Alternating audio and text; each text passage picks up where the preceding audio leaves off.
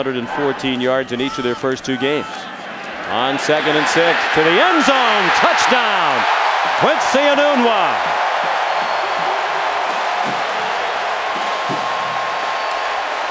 Field goal. He was one for two against Nevada. Made one from 40. Missed from 48. That one needs to hook, and it did. Abdullah goes in motion.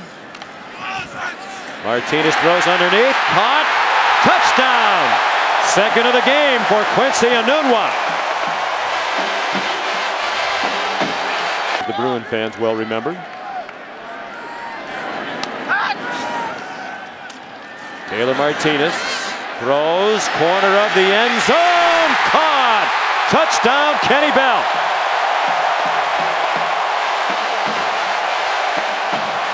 In the crossing route. 46 yard try by Kaimi Fairbairn, and that one is good.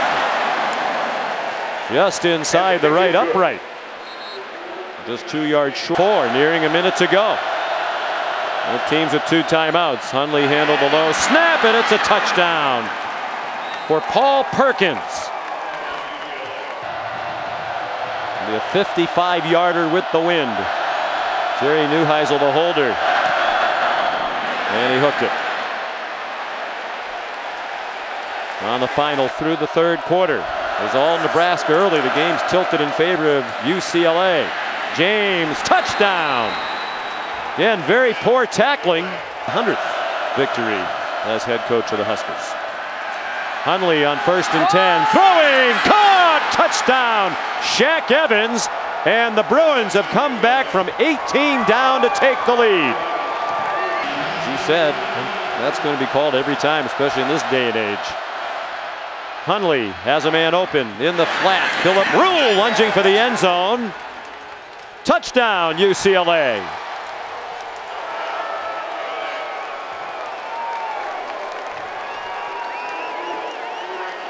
this has been a big running formation, and you're going to see Philip Rule sneak out into this to the flat area, and they get a nice little pick off the safety on number 11, Andrew Green. There's a pick on Andrew Green who had a man-to-man -man that allowed him to create space. Hundley to deliver the ball and the awareness to reach the ball across before his knee hits for second and goal.